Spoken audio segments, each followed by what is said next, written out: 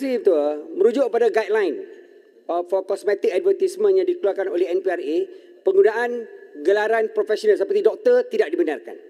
Tindakan regulatory seperti amaran iklan dan pembatalan notifikasi kosmetik akan diambil sekiranya kosmetik didapati diiklankan dengan tuntutan perubatan ataupun tuntutan yang melampau skop uh, takrifan kosmetik. Berdasarkan satu statistik uh, 2021 sehingga Jun uh, tahun ini, 1775 iklan kosmetik telah dipantau, 283 telah diberi amaran dan 104 kosmetik telah dibatalkan status notifikasinya.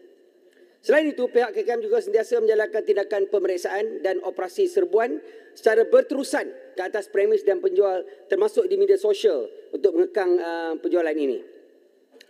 Syarikat yang tidak uh, mengikut undang-undang akan disiasat dan akan didakwa di mahkamah di bawah Akta Jualan Dadah 1992.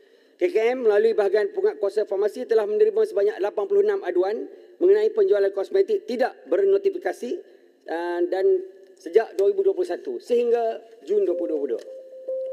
Berdasarkan pengesahan aduan yang dilakukan, 444 premis telah diserbu dengan rampasan RM4,338,629. 4,338,629. Sekiranya penjualan melibatkan orang profesional seperti doktor, maka maklumat akan disalurkan kepada badan profesional yang mengawal selia amalan doktor untuk tindakan selanjutnya. Uh, terima kasih Tan Sri. Terima kasih.